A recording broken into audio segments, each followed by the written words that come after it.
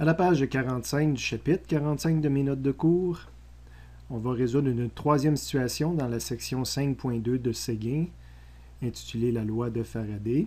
Une situation qui s'intitule elle-même L'électromotance moyenne induite dans un cadre qui pivote et dont on peut lire le libellé à la page 433 de Séguin et surtout regarder euh, le schéma qui nous est euh, fourni, parce qu'évidemment c'est une situation où ça prend une vue avant de pouvoir travailler.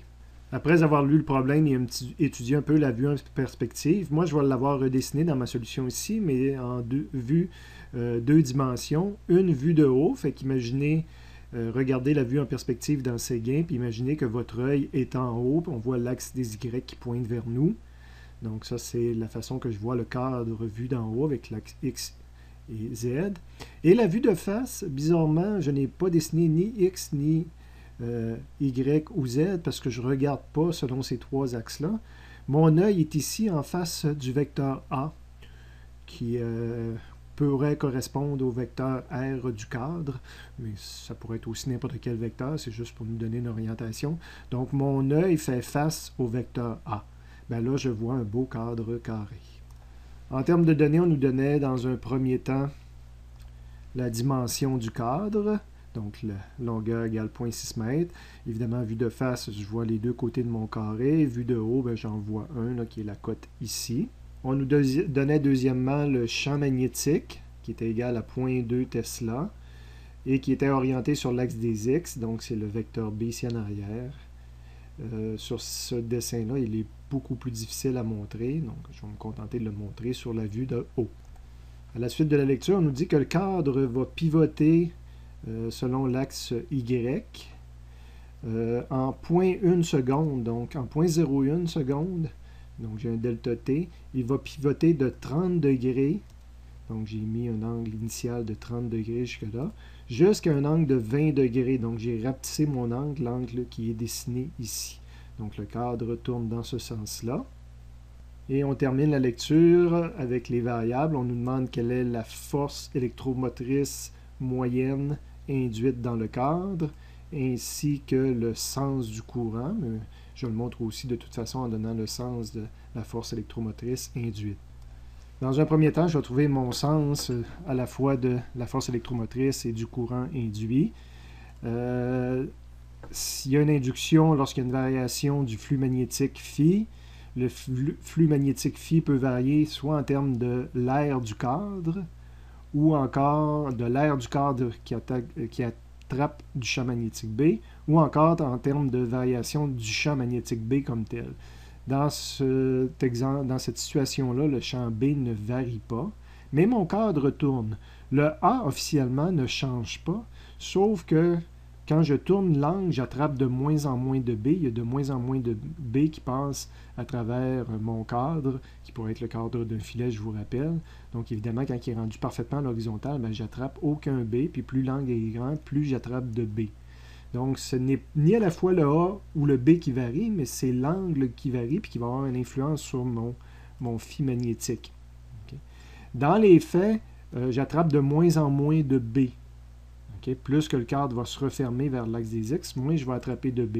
Fait que, au niveau de l'analyse du courant induit, juste de la loi de Lenz, quand je ne fais pas de calcul, je pourrais imaginer, ce n'est pas lui que je voulais décacher, mais plutôt... Euh, euh, c'est ici que je l'ai mis, je pense. J'ai mis que le flux, la quantité que j'attrape diminue parce que le cadre tourne comme ça. Évidemment, j'aime pas voir cette diminution-là, donc ma seule façon de compenser ça, c'est d'induire du B euh, qui vient compenser ma perte. Donc, j'attrape de moins en moins de B comme ça. Euh, c'est sûr que le B, le seul B que je peux créer, c'est un B soit vers l'avant ou vers l'arrière, quand on va mettre nos doigts sur le cadre tout, à l'heure. Évidemment, ça ne vient pas parfaitement compenser le B qui est ici, mais euh, si je perds du B que j'attrape, ben, si je mets du B induit comme ça, je vais en attraper dans mon cadre. Donc, ça va être le sens de mon B induit l'augmentation n'est pas vraiment nécessaire ici pour expliquer. Donc le B induit va être dans le même sens que le A. Si je voudrais le montrer sur ce dessin ici, je devrais l'ajouter comme ça, dans le même sens que le vecteur A. Et maintenant, si on met notre point fermé de façon à ce que le pouce représente le vecteur B. Si on met notre point fermé dans le plan de l'écran ou de la feuille, ben, le courant à induire doit être dans ce sens-là pour réussir à créer le B induit puis venir compenser le fait qu'on attrape de moins en moins de B. Un coup qu'on a déterminé le sens sur euh, cette vue-là, je pourrais également le mettre sur l'autre vue, quoique ça n'aurait pas été nécessaire. Il s'agit de le voir une fois, mais je l'ai mis quand même sur l'autre vue. Ça nous pratique à passer d'un à l'autre. Dessiner le courant sur l'autre vue, c'est un peu plus difficile. À partir d'ici, vue de face, on a le champ qui nous arrive dans la face on a le P à gauche. Donc, il faut s'imaginer qu'on vient se mettre ici, qu'on regarde le A et le B induit de face, puis le P est à ma gauche, donc le P serait ici. Et du côté P, ça descend. Donc, euh, ici, j'aurais mis que ça rentre dans l'écran.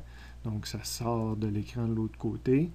Et euh, ça se promène, quand je regarde de face, de droite à gauche. Donc, je m'imagine que je suis en face ici. La droite va être ici. Donc, de droite à gauche comme ça. C'est cohérent. Donc, ça n'aurait pas été obligatoire de l'analyser comme ça. C'est pas simple. Donc, je l'ai changé de couleur là, pour montrer vraiment que le meilleur endroit pour le montrer, c'est ici, un endroit qui aurait été obligatoire. Bon, là, vous allez avoir quelques corrections à faire sur votre page, un peu comme ce matin que j'ai passé une page après avoir une idée géniale. Euh, il aurait fallu que je refasse aussi imprimer celle-là, mais les corrections étaient quand même mineures. Première, première remarque, la première lecture, pas nécessairement la première, en tout cas la lecture que j'avais faite, euh, j'avais pas clairement compris. Vous irez relire la phrase. Il nous demande vraiment la valeur la valeur moyenne de la force électromotrice. Donc, on ne nous demande pas le E induit, mais vraiment le I E induit moyen. Euh, parce que le E induit ne varie pas comme une constante. Moi, j'avais fait une simplification, une hypothèse pour me permettre de le calculer, parce que je n'avais pas compris qu'on posait cette question-là. C'était une hypothèse de travail, c'était une hypothèse simplificatrice, euh, parce que le cadre pivote à taux constant, ça, c'est pas une hypothèse qui est si fausse que ça. Euh, est même totalement vrai, selon ce qui nous est dit. On, bouge de 10 degrés en 0.01 seconde, donc on peut penser qu'on pivote à taux constant. Mais cette pivotation-là, pivotation, je viens d'inventer un mot, euh, à, taux constant n'implique pas une variation de E à taux constant, une variation du phi, je devrais plutôt dire, à, taux constant. Parce que c'est comme tourner en rond. Ce qui représente ce genre de mouvement-là, c'est un sinus. un sinus, ça n'a pas une dérivée constante. Au contraire, la dérivée varie, la pente varie d'un endroit à l'autre sur le sinus. Donc, un mouvement de, rotation ne peut pas être vu comme un mouvement à taux constant. Donc, oui, l'angle varie à taux constant, mais la valeur du sinus ne varie pas à taux constant dans une rotation. Donc, euh, mon hypothèse n'était pas totalement vraie. Euh, c'est qu'en bout de ligne, je voulais utiliser la forme delta plutôt que la forme dérivée. Mais étant donné que la question, c'est force électromotrice induite moyenne, ben, la formule que je vous ai fait rajouter dans le résumé pour faire la moyenne, ben, on utilise directement D delta. Donc, euh, j'ai changé la, formule que je prends ici, euh, et probablement celle-là aussi, puis les deux, trois prochaines lignes. Mais après ça, ça va être similaire. Donc euh, ici, ben, j'ai mis tout de suite, j'ai transformé mon delta en final moins initial. J'ai vérifié qu'est-ce que je connaissais là-dedans. Ça me donnait une équation à trois inconnus. Fait que ça, c'est un peu différent de ce que vous avez sur votre page. Essayez de faire les ajustements minimum. de toute façon, la partie du centre ici est rayée. Et à partir de là, ça reprend exactement ce que vous aviez. Dans le sens que là, maintenant, il faut que je calcule des, des phi magnétiques, des flux magnétiques. Donc, je suis allé chercher la formule qui me permettait de le calculer. Euh, je ne peux pas prendre la formule B perpendiculaire parce que le B n'est pas toujours perpendiculaire et il varie de toute façon pendant la rotation. Donc, il faut vraiment que je prenne la formule de base. Sauf que là, je vais pouvoir le calculer euh, éventuellement pour position finale puis position initiale. Mais ça me prend l'angle qui est ici, qui n'est pas nécessairement à première vue l'angle qui nous est donné dans le problème, le 30 puis le 20 degrés. Peut-être que oui, peut-être que non, il faut que j'analyse la situation l'angle entre B et A. C'est pour ça que c'est intéressant d'avoir le vecteur A, qui est un vecteur perpendiculaire à mon cadre, et l'angle qu'il y a avec B. Donc j'essaie d'attraper le B, donc ça me prend l'angle entre ces deux vecteurs-là. Euh, évidemment, euh, je connais présentement l'angle qui est ici. Puis il y a un 90 degrés entre le rouge et le gris. Donc, mon angle entre A et B, c'est 90 moins celui-là. Essayez de voir, votre angle. mais je veux l'angle entre A et B. Donc, euh, mais j'y reconnais 90 total. J'enlève ça, ben, il me reste l'angle entre A et B.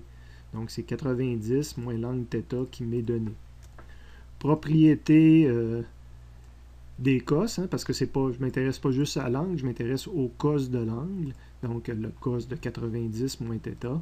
Puis une des propriétés de la trigonométrie, c'est que euh, cos 90 moins θ, je peux remplacer ça par sin θ. Bizarrement, euh, je commençais avec un cos, puis je m'en vais vers un sin. C'est un peu comme faire une dérivée. on se rappelle que ça, à la base, il y a une dérivée associée à ça. Euh, si je ramène ces deux équations-là dans la valeur de flux, mais pour le initial, donc flux initial est égal à B fois A fois mon cos θ BA, je le remplace par sin θ, puis ça va être sin θ initial. Je vérifie mes valeurs. Donc, point 2 est connu, le A puis le sin 30 degrés. Je fais la même chose en finale. Donc, le flux final, mon flux va être égal à B. Ça, c'est pareil que je sois final ou initial. Le A total du cadre, qui est pareil en initial ou en final. Puis après ça, j'ai cos θ BA, mais cos θ BA, on le remplace par sin θ, puis là, je suis en finale, donc c'est sin θ final. Je vérifie mes chiffres. J'arrive pratiquement à la même équation que tout à l'heure. J'ajuste mes affaires. Ici, j'avais une équation trois inconnues. Si c'est ma, deuxième, ça rajoutait une inconnue qui était le A. Donc, deux équations, quatre inconnues.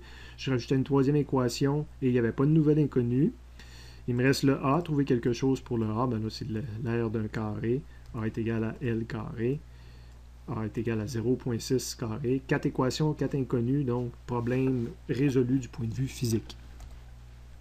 La suite, c'est du traitement mathématique, où c'est les réponses données directement par la calculatrice. Quand je dis la suite, ben, c'est à la page 46, que, pas ici, mais en haut de la page 46, que le traitement mathématique apparaissait comme tel.